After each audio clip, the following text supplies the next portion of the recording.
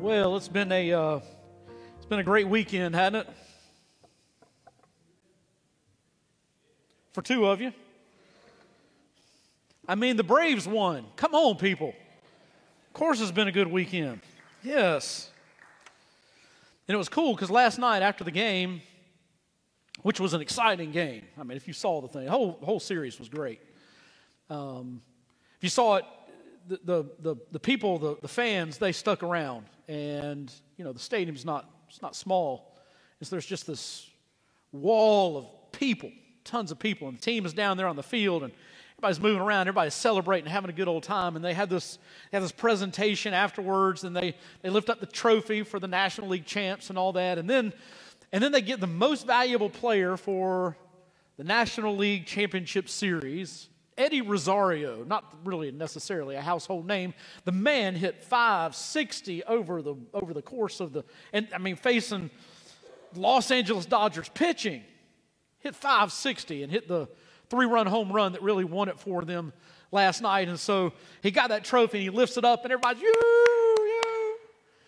And I, let me just tell you, heaven, heaven is going to be a lot like that. And God is going to be sitting on his throne, and people, they're not going to be doing the tomahawk chop, but they are going to be singing, Holy, Holy, Holy is the Lord God. It's going to happen. Guaranteed fact. It's been called the material cause of the Reformation. Meaning that if you if you really want where the you know, this whole Reformation thing that we've been talking about, the, the five solae, you know, the five solas, solos, alones. We can, we can hear that, and it sounds like, um, it might just sound like a, a, a presentation or a lecture.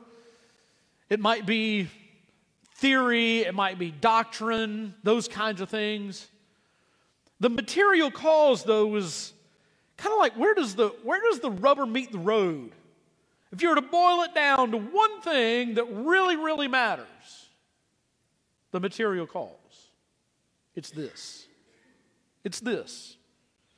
Martin Luther himself called it the article upon which the church stands or falls.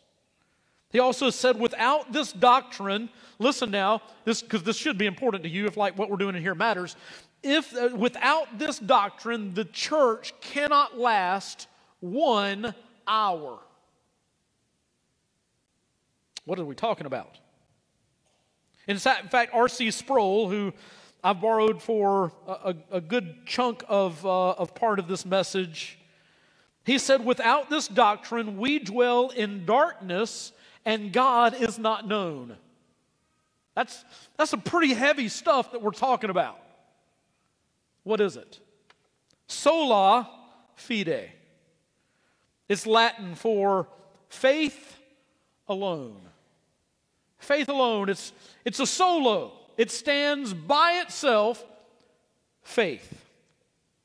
Luther called it, he says, the doctrine of sola fide, he said, is the head and cornerstone of the gospel. That's weighty.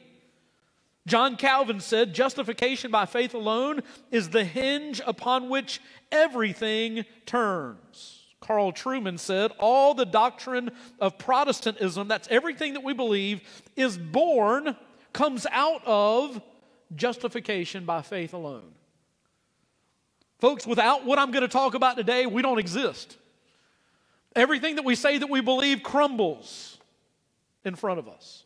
That's how big of a deal this is.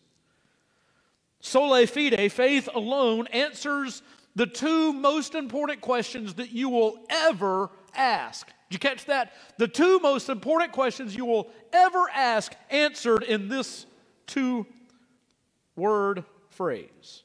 Those two questions are this How can a person be right with God? And how can we stand before the Holy One? How can we be right with God? And when we face God, how are we going to be able to stand there? I mean, He's the Holy One burning in righteousness. How can we stand in front of that? Faith alone. I want you to turn in your Bibles to Galatians chapter 1, just by way of kickoff, if you will.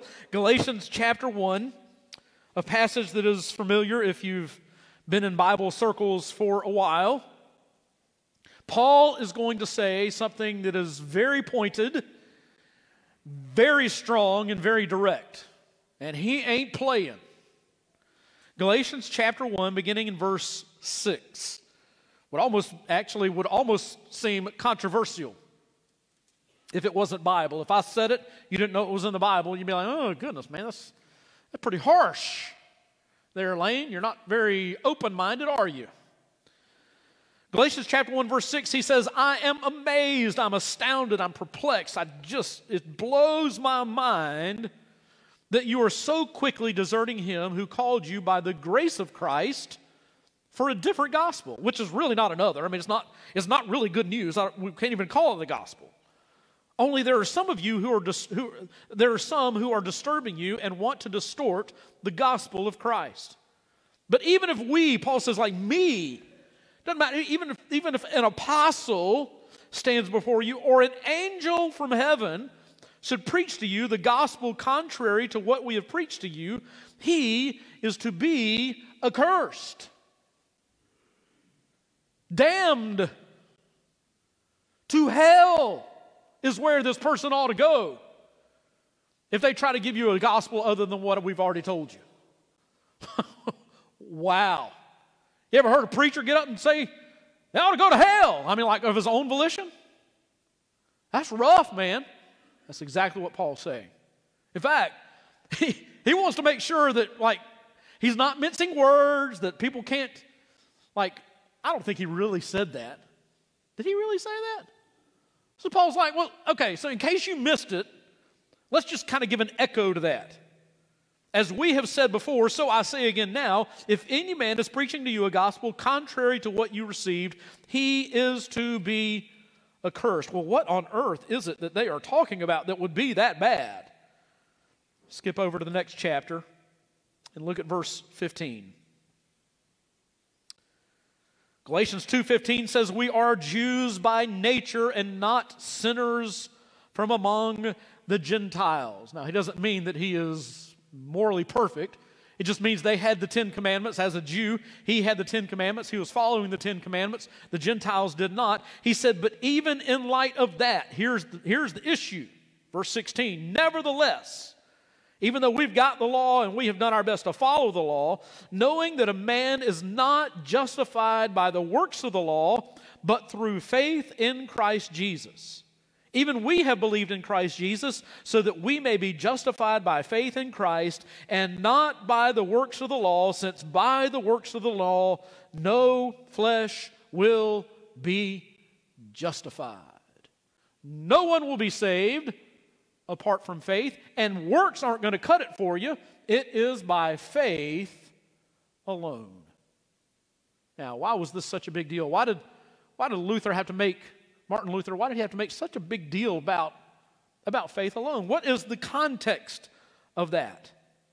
How we got there. I hope you have an outline that you're able to pick up on either, uh, either entrance or if you're online, you can hit the resources tab and, uh, and one will pop up there. You can print it out, take notes on that if you so choose. Let me remind you of the two questions that we asked. The two questions are How can a person be right with God? And how can we stand before the Holy One? It's about this issue of justification, as how Paul put it here in the book of Galatians. Or how, how is God's grace, we talked about grace last week, grace alone, how is that grace activated in my life. In other words, He's got this grace that's out there that He wants to extend. He's got this gift that He wants to give to me. He wants to do so freely. How is it that I am going to receive that gift? How does it become a part of me other than just something that is out there? How does it personally involve me? That was the issue at stake in the Reformation. Now, again, I'm going to simply give background information. I have no interest whatsoever in attacking another denomination, another religion, or the Roman Catholic Church. I just want to tell you this is what was being taught in that day, and therefore this is what this is what spurred Martin Luther to come out with his 95 Theses. And so let me just kind of give you a little bit of the doctrine of the Roman Catholic Church both then and today. For the Roman Catholic Church, justification is accomplished through administration of the sacraments. That's how the sinner receives the grace of God is through the sacraments, and specifically through the sacrament of baptism. In fact, when I shared uh, when I shared some of the uh, beliefs of the Roman Catholic Church, and I printed off that uh, that uh, doctrinal sheet from the church in um, in Florida, that's exactly what it said to this day. In baptism, for them, the grace of justification is infused or it is poured into the soul of its recipients. And here is the phrase that is used by the working of the works. In other words, by the power of the sacrament. It is poured into those who are baptized. So that the one baptized eventually must cooperate with it and assent to it. In other words, grow into that to such an extent that real righteousness becomes a part of who they are. So, if we're going to be justified, here's, here's the thing we're baptized, and, um, and so in that baptism, we must grow toward righteousness. And that is how we are with our works, and that is how we are justified in God's sight. We're in that state of justification until the person kills that grace through the commission of what they call a mortal sin. Mortal sin is defined that it's, it's, not, uh, it's not just when you kill somebody. Mortal sin is called that but it, because they believe that it kills the grace of justification. I like what Calvin, how he responded to that. He said, Every sin is mortal in that it deserves death. But for the Roman Catholic Church, when mortal sin is committed, the faith remains, but the justification is destroyed. So, what that means is, for the Roman Catholics, you can have faith without justification because of mortal sin. And if you commit mortal sin, you have to be justified again. And that occurs through what the church, what the Catholic Church calls a second plank of justification. It's, it's a nautical term. They're saying that those who have, those who have committed this mortal sin have shipwrecked their faith, and so they have to get on a second plank. And if you, lo- if you lost that justification, you can get it back through the sacrament of penance. That's where that sacrament comes from.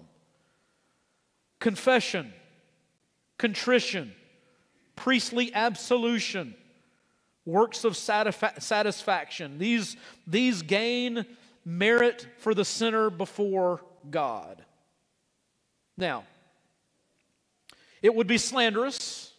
I like what R.C. Sproul said here. He said it would be slander that the Roman Catholic Church believes in pure Pelagianism. You remember we talked about Pelagius last week, who said that you can, you can earn your way to salvation by your works and by your works alone. You can, you can get that kind of merit before God.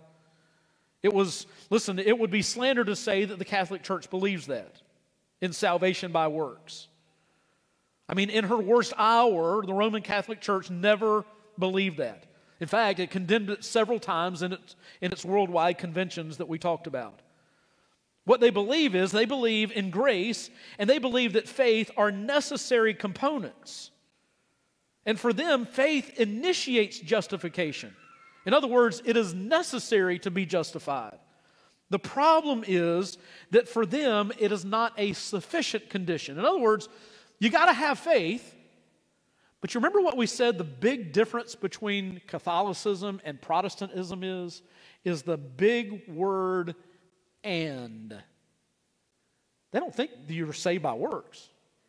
They believe you got to have faith. You just got to have faith and other stuff. Faith and works. You got to have faith, but you got to have something added to it. Now, in order to in order to help you understand how Martin Luther got to where he got, it's also illustrative and interesting to, to see where this doctrine took them, but it also helps us to see where Luther, how he came to, to go in the direction that he went. Because there are a small number of people throughout history who were so righteous, so good, that they had more merit than they needed to get into the kingdom. I mean, they had like, it's what they called, it's what they called super merits. It's kind of loosely called that. But they, they had more merit than they needed to get into the kingdom. And so those super merits were deposited into what they call the treasury of the saints.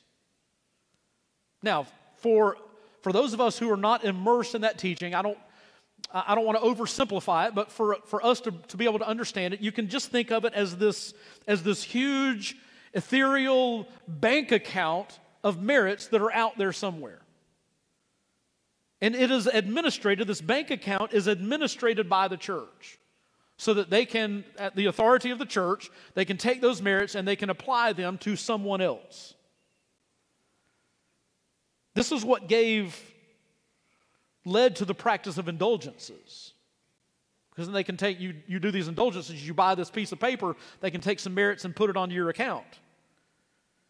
And when you, when you give with a heart of faith, the church has the authority to draw from this bank the merits that were earned by these other saints and give to these people in purgatory.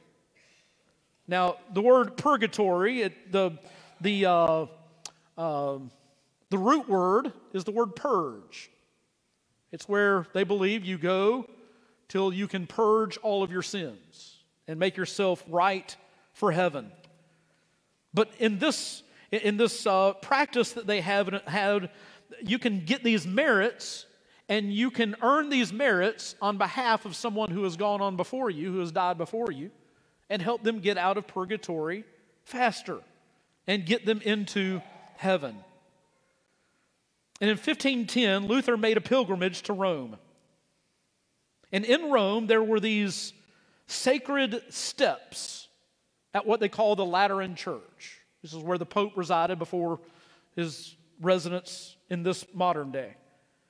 They had these sacred steps that were believed to be where Jesus climbed in the night of his trial. And the church decreed that if a person would make a pilgrimage to this Lateran church, and they went up those stairs on their knees, and at each step, they would say their prayers, they would say Hail Marys, and and recite some kind of a prayer, that when they got to the, stop, to the top of the staircase, they, receive, they would receive so many indulgences that could be passed on to their dead relatives who were in purgatory. So Luther made this pilgrimage in 1510. And this is where he had his crisis. Because he did this thing. He went up each stairs, each of those stairs, on his knees and he said his prayers and he said his Hail Marys. And when he got to the top, he famously muttered these words Who knows if it is true? He had a priest, a prominent priest, who was asking, Did this work? Is this any good? The medieval the- theologians of his day said you can be declared righteous when you are doing the very best that you can. But Martin Luther was he was haunted by not knowing if he had given his very best. So it forced him to go back and to study the word. And when he studied the word and remember sola scriptura, the word only, he found that there was nothing in there of purgatory or papal indulgences the only thing he could find was the gospel of justification by faith alone. Sola fide. That is how we get here. Now, what does it mean? What does it mean? It means a great deal, and I hope that you will follow along with me there in your outline. First of all, we will begin with the word justification. This is where it all begins justification. How can a person be right before God? How can we stand before the Holy One? Justification means, here in your outline, to declare righteous. I pronounce you are righteous. That's what justification means. It means to announce, accept, and treat as just. And in your outline, I purposefully have you write the word accept. You can be accepted by a holy God. To announce, accept, and treat as just on the one hand, we are not legally liable. In other words, we don't have to pay the price. We don't have to go to jail. We don't have to pay a fine. We don't have to do any of that. We are not legally liable. And on the other hand, it gets even better than that. We are entitled to all privileges of those who have kept the law. The old evangelists used to like to, to say, just if I'd never sinned justified. Just if I had never sinned. That is justification. Now, it doesn't stop there. Justification because of, somebody might say, well, but wait, I'm, I'm, I'm not. I mean, I, I realize my sin. I look at myself and I don't see someone who is righteous. How does that happen? Here's how justification because of imputed righteousness. Here's what imputed means. So you might want to underline, if you're taking those notes, you might want to underline the word imputed because that's what we're focusing on in this section. Webster's dictionary mean, says it means to credit to a person or cause, to attribute. To take something from one account and put it into another account. And suddenly this account that was, it was empty is now full. That's what it means to impute. Biblically speaking, it means to put down to a person's account. Philemon chapter 18 is a great example of that. Paul is, Paul is writing to Philemon and he's talking about his slave Onesimus.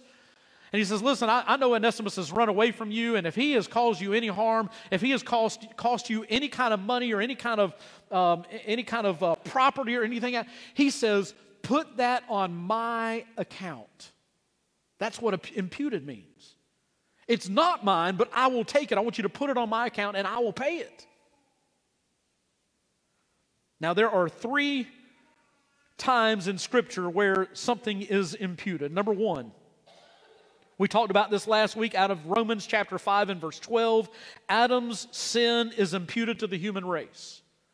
We are guilty in Adam's sin. We didn't bite the fruit, right? But we are imputed of that sin. Romans chapter 5, verse 12 through 21. Number two, and this is this part is not in your outline. You don't have blanks here. This is this is free and extra. Number two, the sin of the, hum, of, of the human race is imputed to Christ. Now, it won't be too long before we start hearing Isaiah chapter 53, verses 5 and 6, where he, our, our iniquities have fallen upon him. What is ours becomes his. We saw last week 2 Corinthians chapter 5 verse 21, God made him who knew no sin to become sin.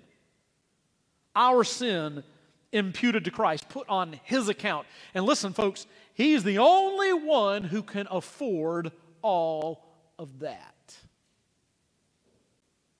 And then number three is the righteousness of God is imputed to the believer. It is put on our account. Merrill F. Unger said the theme, this is the whole theme of the book of Romans. God's righteousness becomes our righteousness. God made him who knew no sin to become sin on our behalf so that we might become the righteousness of God in him. Christ's infinite, never ending, never expiring merit is credited to the meritless to us. Now, how can that happen? That, that just that almost seems like nuts. I mean, that's all crazy or impossible or doesn't make sense, illogical. How does that happen? Justification because of the imputed righteousness of Christ through faith. Write down this reference Romans chapter 4 and in verse 3. Abraham believed God and it was credited to him as righteousness. He just believed. All the good things Abraham did, that didn't do anything for him. He believed God and it was credited to him as righteousness. It is called, faith is called the entry point through which grace enters. It's how we get grace. Yesterday, I went in my backyard, and my father in law had given me five little gardenia nubs, but they had some root to them. He had done this fancy thing, he knows how to do all that kind of stuff. He gave me five. I went to my backyard, found me a little, little section that I thought was good. I, I like sectioned it off and dug up everything that was in there. I didn't have a tiller, so I just used my, my, my uh, shovel and tore that thing up and I planted those plants in there. I spaced them out just right. I mean, I had my, I had my, my tape measure out because I want to make sure they were spaced just right apart. Got it all done, got the dirt in there, went and got some pine straw, put some pine straw there. I should have brought a picture for y'all to see, man. I'm so proud of that thing. These little nubs about that big growing up out of there. You can't hardly even see them above, above the pine straw because I put so much pine straw in there. And you know what I did? I went and I got I got my garden hose, and I've used this illustration before, not that part because that just happened yesterday, but I got, my, I got my, my, my hose and I brought it over there and I watered every one of those plants. Now, I was connected to a water source that, to my knowledge, is never going to end. I've never come to the end of that water, ever. How am I going to get the water from that spigot to where I need them to that plant? Through the hose. How are you going to get the infinite matchless grace of God into your life? Faith. The same way the water got from the spigot to the plant. That's how you're going to get the grace of God to your life. Faith is the only way, it is the only avenue through which we receive the grace of God. The instrument of justification is not baptism, it's not confession, it's not any work at all. Luther said the gospel destroys all of this merit. We come with nothing in our hands. It's faith. You can't buy it, you can't earn it, you can't aid it, you can't add to it. Anything else is another gospel which is not a gospel at all. I love what Luther said here. He said, The love of God does not find, but creates that which is pleasing to Him. He can look all over the earth and He's not going to find somebody say, Oh, yeah, that, that works for me. He works for me. She works for me. I like how they've turned out. It doesn't happen. He has to create it. And so that's exactly what He did. I mean, we, we love but we love because we find something lovable. I'm, I married my wife 26 years ago is because I found something in her that I loved. God looks at us and He doesn't really see anything that's lovely. So He creates something that is lovely. And we receive that through faith and through faith alone. Now, why does, this, why does it still matter? And I'll wrap up with this. Why, why, does this still matter? Why is it that we are talking about it, other than the fact that your very salvation hinges upon it? Here, here, are, here are four things that I would say, and I hope you write these down because if you are ever in doubt, here it goes. All that Christ is and did is mine because of justification by faith, through faith alone. All that Christ is and did is mine. Somebody just took my picture. Wasn't that nice? Number two, all my sins are done away with. They're gone. They're done. there is therefore now no condemnation for those who are in Christ Jesus. Number three, my place in heaven is guaranteed. Guaranteed. And then, fourth, maybe this could all be summarized with the fourth thing there I am at peace with God. You might feel anxious today. You don't have to feel anxious. We can be at peace with God. Listen, when guilt overwhelms you, sola fide. You're not sure if God loves you or accepts you? Sola fide.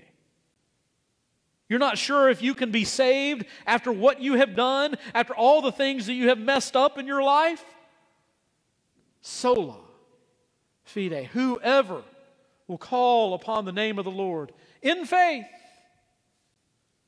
will be saved.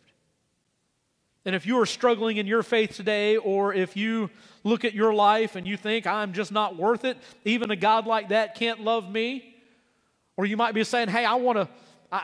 if, if God can love me, I want, I want more of that. Can you, can you show me how? Then I want, you to, I want you to contact us. I want you to connect with us.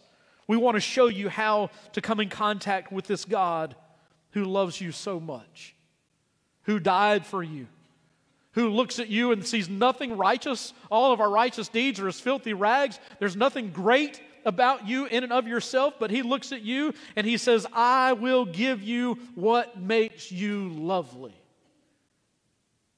And I'll save you. And I will save you to the uttermost. You want this in your life? Call upon him. Now, if you have questions about what that means, if you if you, or if you make that decision, or maybe you're just struggling in your walk and, and some of these things have maybe struck a chord with you and it, it really hit a nerve and it's something you need to talk about, I want you to reach out to us. You can do that by calling the number that we have, and it's, it's printed in several different places 912 513 2929. You may want to write that down, put it in your phone or whatever 912 513 2929, and text the word response. You'll text the word response, that comes to my phone. And we can start a conversation. So if you want to know what it means to be saved, if you want to, which you don't have to have my help, you can just call out to him right now, right where you are, whether you're at home or sitting in here in the front row, back row, upstairs, wherever you might be, you can call upon him right now. But if you if you want to talk with somebody about that, then I hope that you'll I hope you'll reach out in this way and let's begin this conversation. Because because there is no other way. And there is no, there's nothing else that you have to do that you can do about that. Call out to Him. He wants to love you and accept you and change you. And He can do that, and only He can do that. God, we thank you for sola fide. Our works always fall so short. And so, God, we, it would be helpless if it was up to us.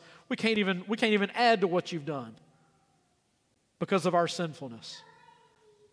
So we thank you for the love and the grace that you have extended to us. We thank you for sending Jesus to die. We thank you for the power that raised him again on the third day, that gives us hope of a resurrection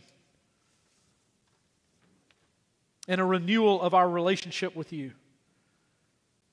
And so, God, my first prayer is for those who don't know you. And maybe there are some who think that they're just they're just not worthy. It's just it just can't happen because of something they've done. It's certainly true that we're not worthy. But God, you made a way. You paved the way on the cross, and we thank you for that. So that if someone just believes, it will be reckoned unto them as righteousness, counted, imputed to them. And may they experience the newness that comes with that. And Lord, I even pray for your children. Sometimes, sometimes even when we're saved, we're thinking, how could God love me after the way that I've blown it? I've known him and I've still messed it up. Lord, we thank you that your acceptance of us comes at your cost, not ours. And may our hearts be filled with gratitude so that we live the rest of our days for you. Lord, we thank you for Sola Fide. Now, Transform our hearts that ours would match yours and that we would be a shining light for you in a lost and dying world. In Jesus' name, amen.